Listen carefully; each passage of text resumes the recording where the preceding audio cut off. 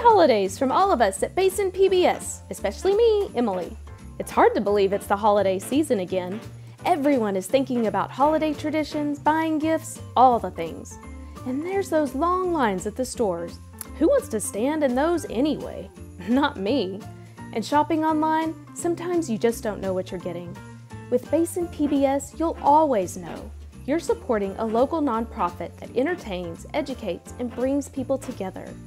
Okay, so you're probably thinking, but what about something to wrap to put under the tree? I totally get that.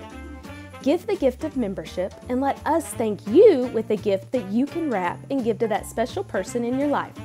We've got some great items. Visit us online or call the station and talk to me to get things started.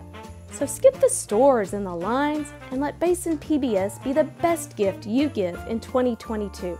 I hope to hear from you soon.